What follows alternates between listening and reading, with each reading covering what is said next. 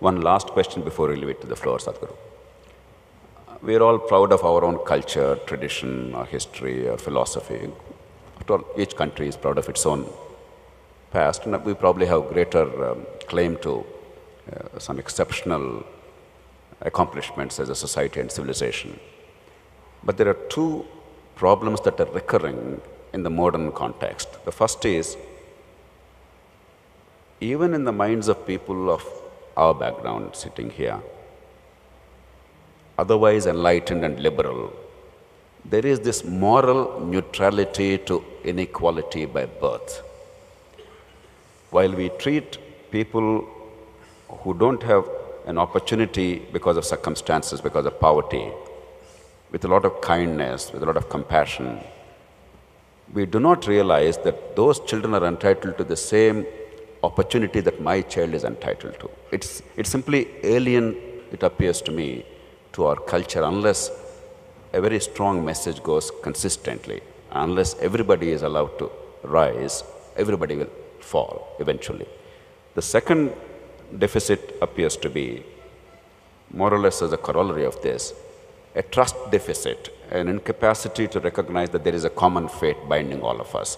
Politicians blaming bureaucrats, bureaucrats blaming judges, judges and politicians and bureaucrats together blaming media, all of them blaming somebody else.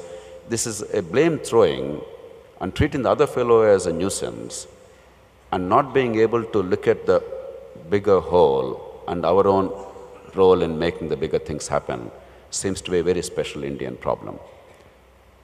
What do you advocate, Sadhguru, to address these two challenges? See, we need to understand India. The problem is, we are trying to look at India through a Western education window. Right now, all the educated Indians, somewhere there is one window of Western education, rest of it is total chaos. And we like chaos. We are a colorful mess. As long as you're not trying to work with somebody, their Indians are fine. Because everybody is a genius by himself. But you can't organize a genius and get results. By themselves, they're good. You try to put them together, there's a big problem. So what India is, is why it is like this is, I already mentioned this in passing. One thing is, India does not have beliefs and India has never had moral code. See, every other nation has strict moral code, people feel guilty about certain things. An Indian can just do eh, just about anything very happily. Do you understand? I've had the misfortune of sometimes closely interacting with some very famously corrupt people right now in the country. When I really looked at them closely, what I saw was, they did not even think they're doing something wrong. So your ideas of morality, ethics, uh, they're shocked that you're saying, you're complaining, after all I become a minister, shouldn't I make some money? What are you talking? I'm saying they're not even… I mean, they're surprised that you people are complaining because India is not… has never had a moral code, but still people remained in a certain way because there was a spiritual ethos. People told you, everything is your karma, whatever you do, there will be a consequence. And people stirred up certain other dimensions within you Every generation had people who would stir up this possibility of consciousness within you. We operated out of continuous stirring up of uh, consciousness, never morality. Now we have come to a place where in the last few hundred years or few generations, nobody has come, I won't say nobody, not enough people have come to stir up consciousness. And consciousness has gone low, no morality, we are between the two cultures, we are falling in the gap. We have lost our way of keeping ourselves in check, but we still cannot take on Western way of strict morality. And we are falling in the gap in between, that's where we are. See, right now, It's seriously happening like you said yesterday's yesterday uh, election results and everywhere else, whether it's Bengal or UP or Tamil Nadu or wherever else. Gradually in India, there is no party which you can call as national party, all regional parties. As regional parties becoming more and more powerful and they sweep the state and natural… national parties are co completely routed, I'm not trying to pitch for them because uh, there is nothing to defend them, okay?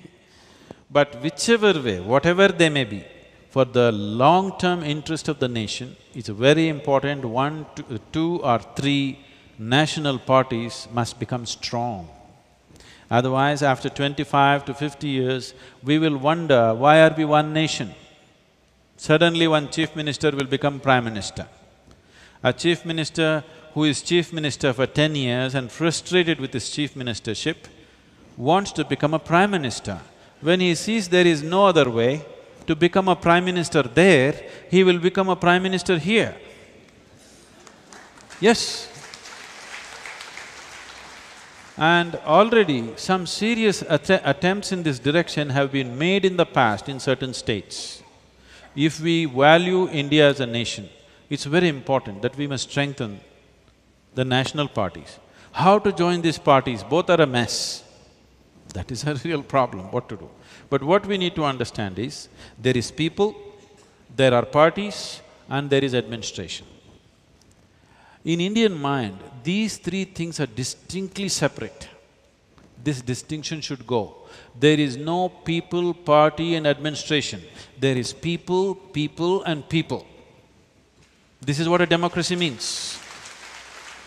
People who are sitting here in this chair, tomorrow could be walking the street campaigning for a party, day after tomorrow they could be in that chair. This is what democracy means, that you are here today, tomorrow you could be there. So this distinction has to go.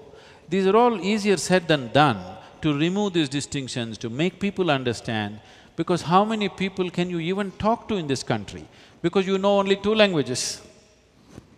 Yes? Maybe I know three languages. But how many people will you speak?